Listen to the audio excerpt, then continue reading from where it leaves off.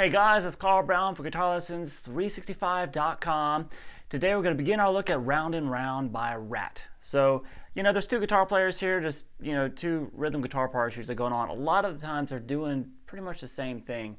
Uh, there are a couple of instances where they're not. So I'm going to try to combine it so you can really do it with one guitar if you want and, it, and play along with the recording and make it sound like it. it's just a couple overdubs usually. Uh, except obviously for the, the solo sections, which we're going to take a look at in part two of this. So, so the next video after this, we're going to take a look at the all the Warren DeMartini solos.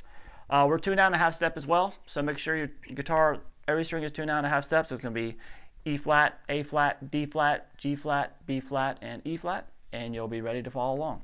All right, so let's start here with that opening riff that I just played. That's the chorus of the song and also the intro.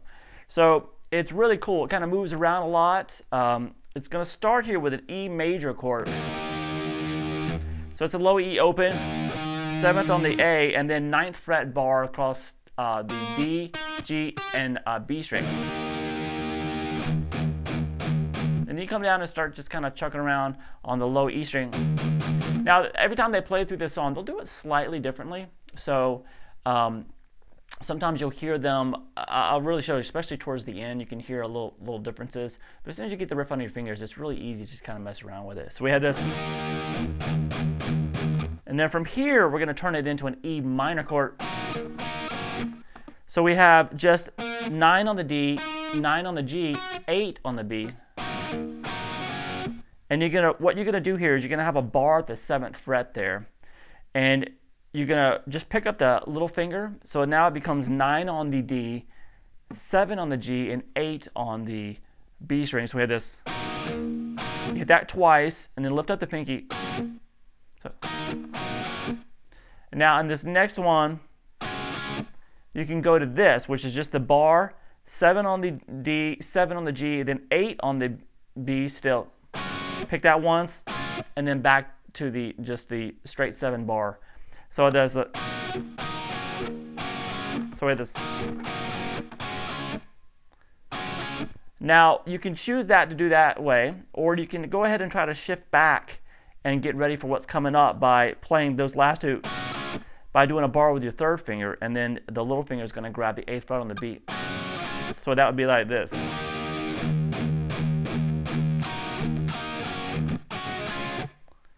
Kind of getting ready for this next chord so we, you're going to come back and grab the third fret on the A string, and then we have a big stretch. You're going to do a bar here. It's like a C major chord here, so you're doing that bar, the fifth fret on the B, G, and the D. But you're going to reach up and grab the seventh fret on the B string. You can just hit it, hit those two strings, the G and the D, and then back to the uh, the two, the fives so we have this. So all together.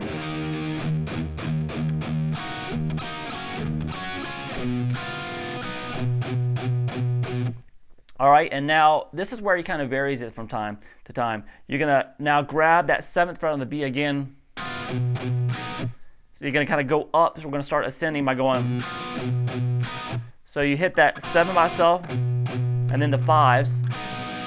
Then move up to the fifth fret. You got the bar, the kind of the kind of chug along that low D, and then, and that little eight to seven maneuver on the B string again. So we have this.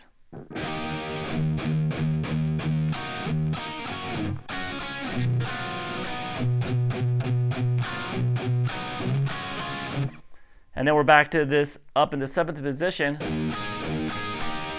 And it mm-hmm. usually starts over by doing that. You kind of doing the suspended, where we have that E major chord, but we're having the 10th fret on the B added to it.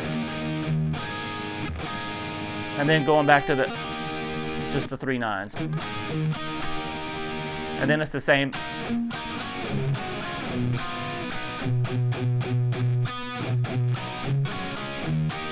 All right, so now where he varies it, sometimes when he'll go up with this little.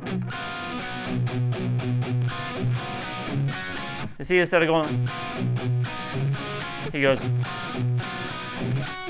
So you got to watch out for that. Sometimes he'll just kind of change the rhythm. but it's always really the same fingerings in the left hand. So all together.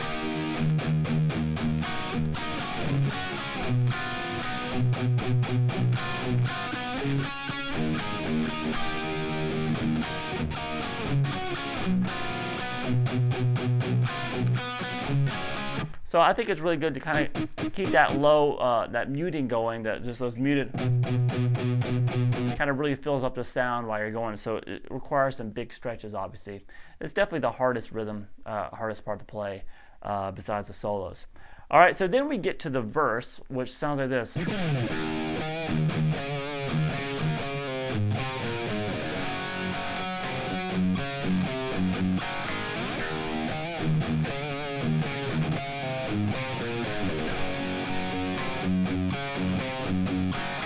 All right, so this is where there's two definitive guitar parts for just one little part of it. So we're going to start with this. Low E open, then the 7th fret on the A. Back to the low E open a couple times. Then the 5th fret on the A string. Then I went back down to the low E and hit that A again, that fifth fret on the A string again. So we have this. Then back down to the low E. You see, we basically have a melody.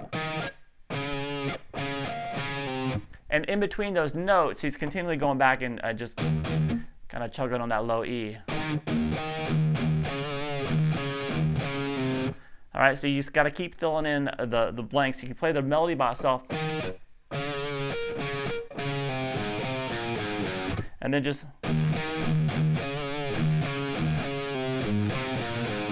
all right so after we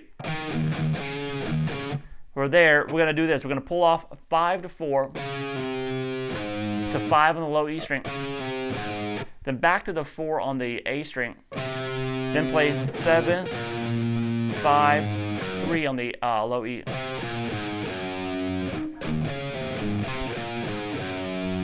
and then come back and grab it. Now this is an overdub on the recording, or the second guitar player is doing it. So we basically just have a G power chord that sustains. So make sure you mute that A string. And everything else, third fret on the high B and the G, I'm sorry, the B string and the high E string, and the low E, open string on the D and the G, and then A string muted. Now while that's going on, you hear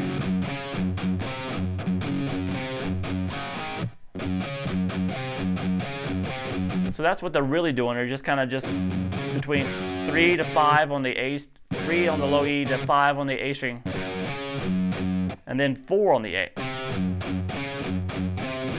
So it's just kind of going back, kind of like a crazy train thing. And it ends it with a two open D, the open D and the open G, and then the second fret on both those strings. Now you can put these together by just playing like this. Let this ring out. So while that was going on, there's a that going. You can just do this. That's by doing that big chord because it has such a it's so prominent in the mix, but still getting the. So you, you strum the chord and let as many notes ring out as possible. Let those open strings ring out, and then come back and do the that little but you're doing it here. So, so it's just from the third fret on the uh, low E, the open D string, then back down to this note, and then the fourth fret, play with your little finger on the A. So I'm just doing that off of that G chord. Same ending, and then just repeat it. So that's just trying to put those two parts together so it sounds good on just one guitar. All right, and then we make it to the pre-chorus, which sounds like this.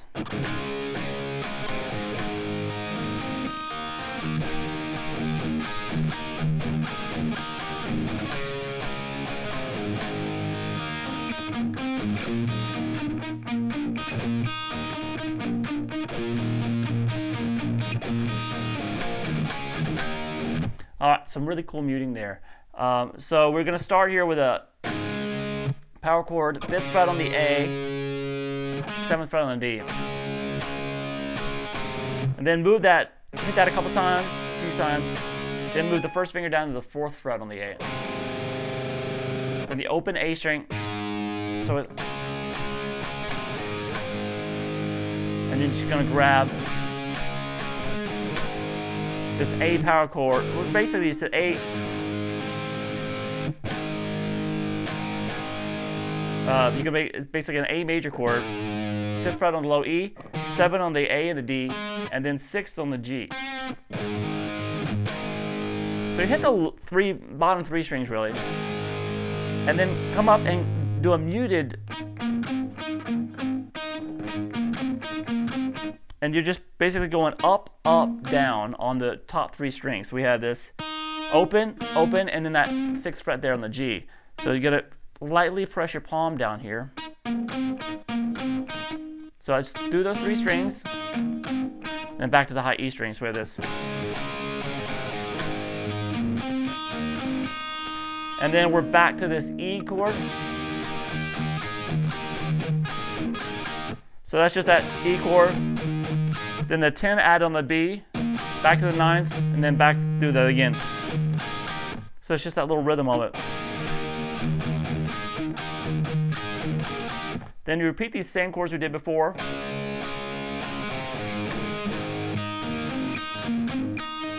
All right, so here, you're gonna pick these three strings and then come and grab the, the hit the fifth fret there on the low E string and then move it up to the seventh fret, the same chord shape. And here you're to do that same kind of figure again.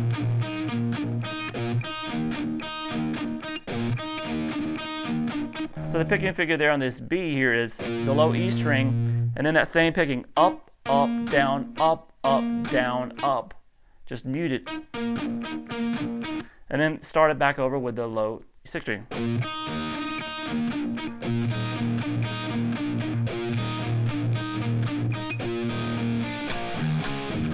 And then out of that, we just have seven power chord on the low E string, fifth fret power chord on the A string, to the seven that starts the chorus over here. All right. So now we pretty much have a, a little riff that happens, a little interlude section happens towards right before the last chorus. Sounds like this.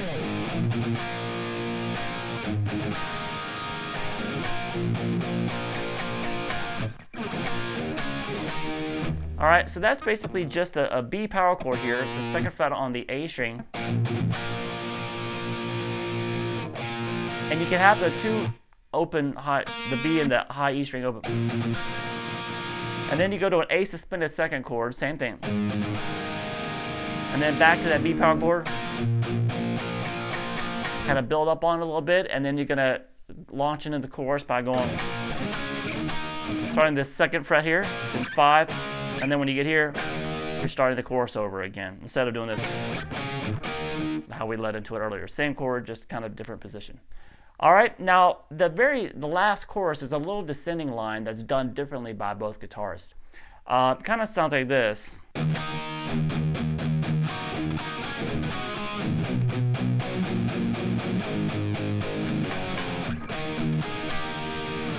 All right, so that's the same uh, riff. When we get down to the third fret here, you're just going to go.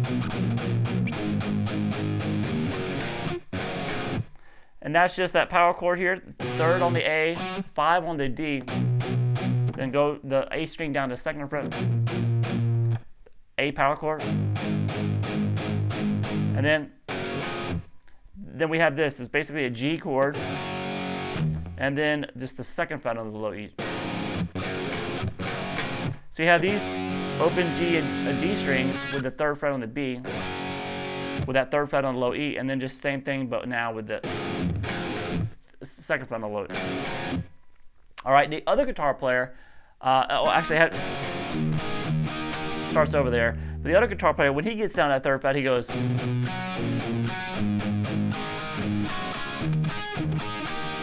So that's a little different. So that little descendant, how he does it. That's just basically um, third fret on the A, uh, A string, third fret on the B together. And you're gonna mute that fifth string a couple times, then hit the open G and the B string together. Then the second fret down on the A string. Same thing as before on the these two strings. Then the A power chord, and then that's that kind of maneuver we did in the chorus, which is the bar at the seventh. You're gonna add the eighth fret there on the B string first, and then down to the bar at the seventh. Start the chorus over.